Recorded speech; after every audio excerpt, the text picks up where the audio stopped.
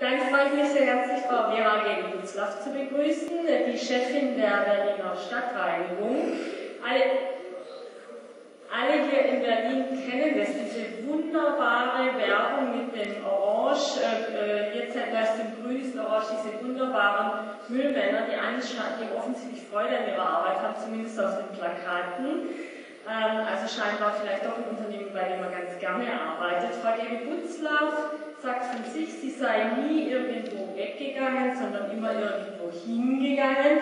In dem Fall dann jetzt in Berlin letztendlich zur Stadtreinigung ein gewundener Weg, denn sie sind eigentlich Juristin, Richterin am Berliner Verwaltungsgericht und äh, hat über die Themen Bau und Umweltrecht, Bau und Umweltkammer in die Abfallwirtschaft gefunden, war Richterin am Verwaltungsgericht Frankfurt-Oder, Umweltministerium Sachsen-Anhalt und hat 2003 dann als Vorstandsmitglied bei den Berliner Stadtreinigungsbetrieben angefangen. Sie wissen alle, das sind Unternehmen des Landes Berlin.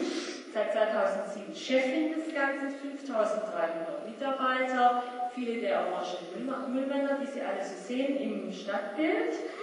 Ähm, inzwischen nicht mehr die einzige Frau an der Spitze von großen öffentlichen Unternehmen. Sie haben vor kurzem eine Kollegin der Berliner Verkehrsbetriebe dazu bekommen, Frau Geldbutzler, an Ihrem Unternehmen. Was reizt Sie, sich mit den Themen Ethik und Innovation zu beschäftigen? Ja, erstmal natürlich ein Unternehmen, das den Berlinerinnen und Berlinern gehört und uns beschäftigen, was wir alle wegwerfen und nicht mehr brauchen. Früher war es so, dass das, äh, die Tätigkeit sich darin dann auch erschöpfte und unser Müll, unser Abfall irgendwo landete, wo er dann wieder der Nachwelt Riesenprobleme macht als großes Umweltproblem. Wir machen das jetzt ganz anders und das, denke ich, ist innovativ und reizt auch, noch mehr dazu machen. Wir überlegen uns, was machen wir mit dem, in unserer Gesellschaft nicht, im Moment nicht brauchen und wie können wir dafür sorgen, dass es einen ordentlichen Sinn erfüllt und nicht zu einem Umweltproblem für unsere Kinder und Enkelkinder wird. Und da freuen wir uns, dass wir mit einer 98 Prozent von allem, was so weggeworfen wird, inzwischen einen ordentlichen Nutzen sehen können. 98 Prozent von allem, was weggeworfen wird. Das heißt, äh, landet dann nicht in der Deponie, sondern wird in irgendeiner Form wieder verwertet. Ja, also unvorbehandelt landet gar nichts mehr auf Deponien. Auf Deponien landen nur noch Stoffe, die dort gebraucht werden, um diese Deponien auch äh, abzu, äh, ja, zu, äh, zu sanieren. Aber der Abfall wird auf verschiedenste Weise verwertet. Also einmal klassisch würde man denken, das ist doch nichts Neues in einem Heizkraftwerk. Aber natürlich geht da nichts mehr in die Luft, sondern äh, es wird alles energetisch verwertet, also es wird Wärme erzeugt und Strom. Äh, in anderen Fällen wird äh, Primärenergie substituiert, indem aus dem Abfall Pellets gemacht werden, die dann statt Kohle in die Werke eingebracht werden können. Aber wir gehen noch viel weiter, also gerade mit dem Bioabfall, da bauen wir jetzt äh, Biogas, äh, eine Biogasanlage und da sind wir besonders stolz, weil dann aus dem Biomüll, also unseren Essensresten, wird Gas. Und mit diesem Gas betanken wir dann wieder die großen Müllsammelfahrzeuge, sodass wir da nicht nur CO2-Einsparungen sondern auch die Feinstaubbelastung wird vermindert.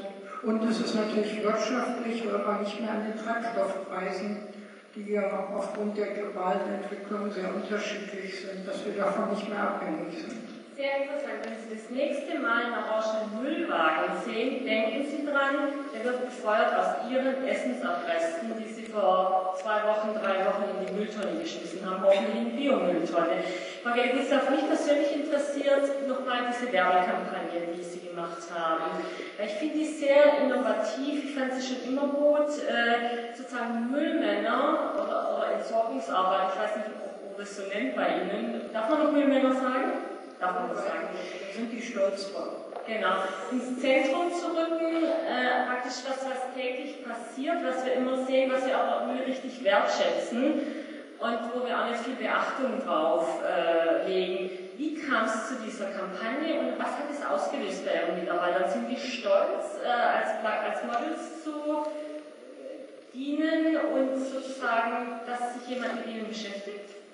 Also es hat beide Seiten. Nach außen hat es ausgelöst, was Sie schon angesprochen haben, dass jeder vielleicht ein bisschen mehr darüber nachdenkt. Auch Verhaltensänderungen sollen ja mit ein bisschen Humor veranlasst werden.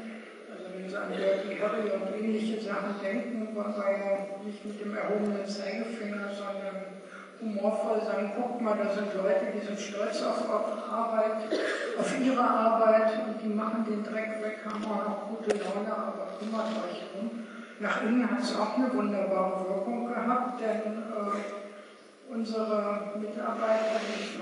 sonst Männer bei dem Müllabfuhr, bei der haben jetzt auch schon Frauen, die wollen so sein wie auf den Plakaten, nett, freundlich, sauber und das wirkt sich dann auch nach innen wiederum aus. Wunderbar, das heißt, die Kampagne geht weiter? Bitte? Die Kampagne geht weiter? Ja, Sie sehen ja im Moment, machen wir ein bisschen deutlich, was war in Umwelt, wir sind ja ein Umweltunternehmen, das, was ich vorhin gesagt habe, was wir aus diesem Stoffstreu machen. Und äh, da die Themen nicht ausgehen, werden die Kampagnen auch immer weitergehen und lassen sich überraschen, wird sicher auch wieder viel dabei sein, was Spaß macht. Gut, wir freuen uns und äh, Sie alle gucken beim nächsten Orange Müllwagen ganz sicher ein bisschen hin, da bin ich überzeugt von.